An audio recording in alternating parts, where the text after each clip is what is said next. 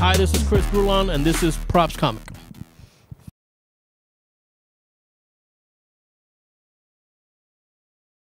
Uh, Eddie Murphy, that's the standard response that everybody's going to give. Eddie Murphy, George Carlin. I saw these guys doing stuff that, um, uh, how can I put it? They, they just didn't give a fuck. And I thought that that was really cool. Uh, I, was, I grew up in a household where um, everything was controlled. And to see somebody on stage saying whatever the hell they wanted uh, was a dope feeling. Made me want to do it.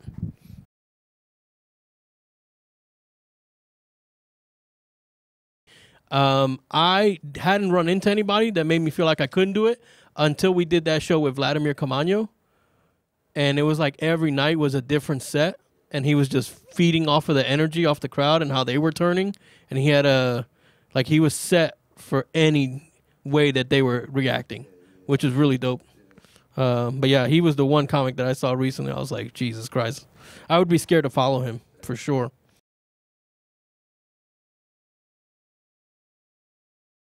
Uh, the seven cuss words that George Carlin did, that that smart. I mean, it was one of the smartest jokes I'd ever heard, and to this day, it's still relevant. Like you can, uh, you can hear it and still be funny. It still works for today.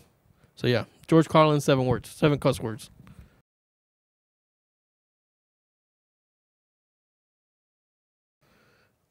Uh, the final show that I would want to do before I die would be Madison Square Garden, uh, New York City. That's where I'm from. Uh, and who I would want on the lineup, uh, I don't really care. yeah, I don't really care. I just uh, want to do want to say I've done New York City, uh, Madison Square Garden, or Radio City.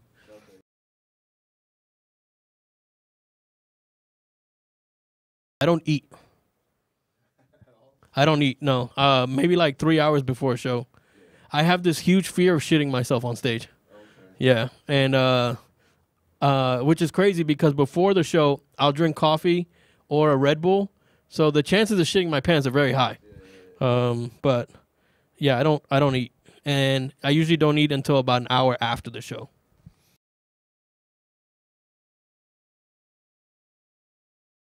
All right, this is gonna be a deep answer. Uh, first, uh, they shouldn't be a comedian, so they can stop taking all the fucking spots at LOL. That's number one.